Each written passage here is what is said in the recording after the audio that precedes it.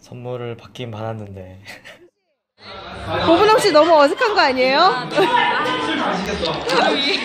이걸 꼭 찍어서 달라고 하니까 음, 집에서 만든 초콜릿이에요. 이거를 한 번에 먹어보겠습니다. 우리 고분홍 씨가 요즘 많이 힘든 것 같아서